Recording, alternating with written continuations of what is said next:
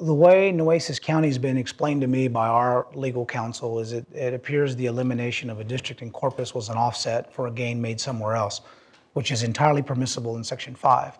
Uh, I think that the, the question remains uh, if there are other districts, I think arguably some would say that perhaps the district that J.M. Lozano represented perhaps could have been, you know, maybe may have retrogressed somewhat. I'm not sure. Uh, but I do know this all it takes is, you know, for instance, uh, there's an argument to be made about changes in Houston. And there is a district in the 137, which is represented now by Scott Hochberg, that there seem to have been some adjustments to that district when they created the new district. Uh, and if that requires a change, then even a few percentage points really changes a lot of Harris County. Uh, there's been issues about intentional race uh, line drawing in Dallas, in parts of North Dallas.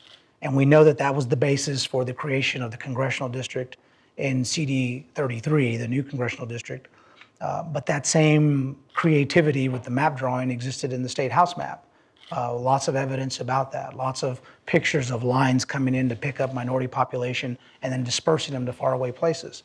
Uh, I think that that issue is, is, potentially on the table, and, and some would take even that further, more, how should I say, it, uh, more optimistic view that some believe that the map could be so bad and the manner and means by which Texas adopted its map could just be so just riddled with discrimination that some would argue that they would question the viability of the entire map because of the motive.